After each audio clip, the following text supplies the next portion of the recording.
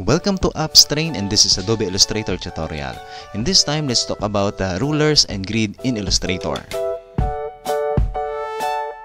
Napaka-importante ng rulers at grid sa Illustrator lalo na kapag ka tayo ay uh, gumagawa ng uh, graphics na gusto natin ay naka-align, malinis tingnan ano. Ang grid at uh, ruler sa Illustrator ay ito yung mga guides lang natin ano. Hindi ito nasasama sa ating print. Uh, nakikita natin sa ating layout, nakikita natin yan dito pero mga guide lang ito ano, hindi yan kasama sa print kagaya ng sinabi natin ano. Okay. Dapat alam po natin kung saan natin kukuhain, saan natin makikita yung rulers at saka yung grid natin sinasabi natin ano. Okay. So yung unahin natin yung rulers ano. Yung rulers ay nandito po yan sa view then rulers show rulers ano ang keyboard shortcut niya ay control R. So hindi natin makakalimutan yan ano control R ano. Okay click natin. Yan yung horizontal at saka vertical ano horizontal ruler at saka yung vertical vertical ruler natin ay nandito ano. Okay kung napapansin niyo po yung ating uh, ruler ay uh, okay 0 1 2 3 ano naka inches ano. Ngayon kung gusto natin ano yung ruler natin kung gusto natin gawing uh, millimeter, centimeter, points, ano, depende sa unit na gagamitin natin, pwede natin yung palitan, ano. Okay, dito sa kanto, punta tayo dito sa kanto, right click natin, ayan. So, nandito yung mga units na available kay Illustrator, ano. Okay, pwede natin palitan yung dito lang sa taas. For example, ay uh, gawin natin centimeter. Okay, so automatic magpapalit siya, ano. So, centimeter, ano, horizontal at saka vertical, ano. Okay, yung yung uh, unit kasi na yan, ano, dito yan sa pag-create pa lang natin ng file, doon kagad natin yan dinideclare, ano, file, new, yan. So, dito yan, ano, pag kinlik natin yung inches, pag okay, ang ruler na lalabas natin, okay, click natin, inches. Okay, okay. Yan. Control R, Control R, keyboard shortcut, yan. Ano, so, naka-inches ka agad siya, ano, naka-inches ka agad yung ating uh, ruler. Okay, so bulay natin. Break tayo dito sa unang uh, sample natin. Okay, so dito tayo no. Ngayon, paano tayo gumag uh, ng ruler ano? Okay, sa ruler natin ano, pwede nating i-click. Okay, itapat natin halimbawa sa horizontal ruler natin. Click, click, hold the mouse, then drag. Okay? Ayan. So yun yung ating guide ano, yung ating ruler ano. The same thing dito sa kabila ano. Click, tapat natin yung ating uh, mouse sa uh, ruler, then click, hold the mouse, then drag. Okay. Kahit gaano karaming ruler ano, kahit gaano karaming ruler, pwede nating ilagay sa ating document. Okay? So, yun yung ruler ano. So, pag gumawa tayo ng shape, for example, guided na tayo. Yan. Okay. Guided na kaagad tayo ano. Okay. Delete muna natin. Okay, yung ruler natin ay pwede nating ilock Okay, just select, click, hold the mouse, then select yung ruler.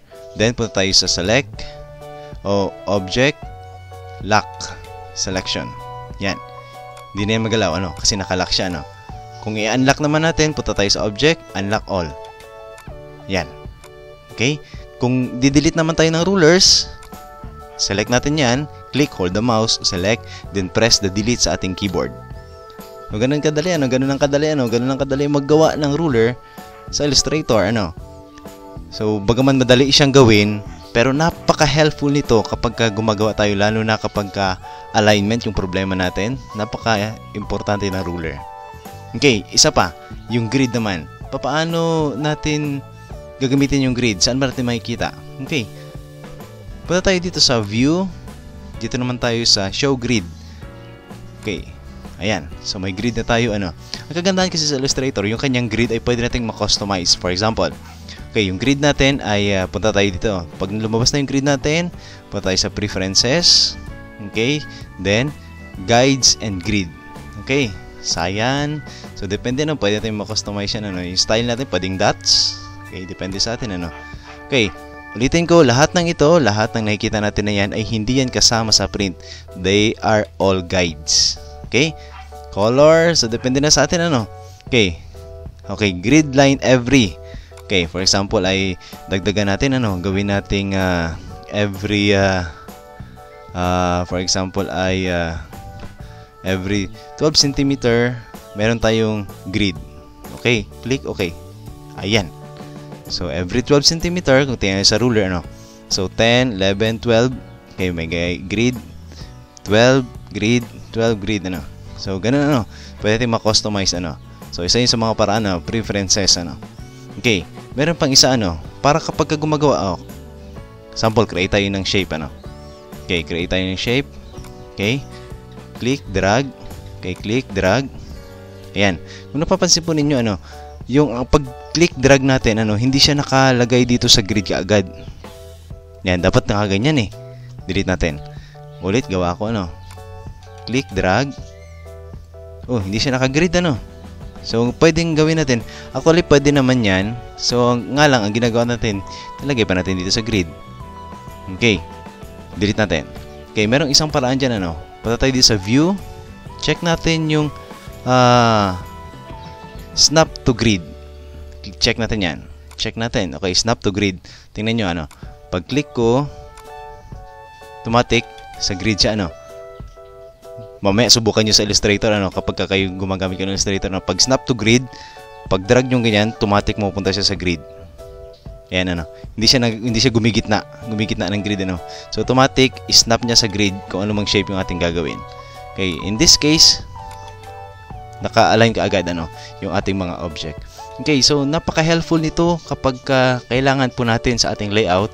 Just click the ruler, control R, at punta tayo sa view. Gamitin natin yung ating grid. Ano. So, huwag tayong mag-alala, hindi yan kasama. Ano. Gaya na binabanggit kanina, hindi yan kasama sa print. They are all guides. Okay, so napaka-helpful ng, uh, ng uh, guides at saka rulers na ito para sa atin lalo sa mga indis- sa mga Illustrator users.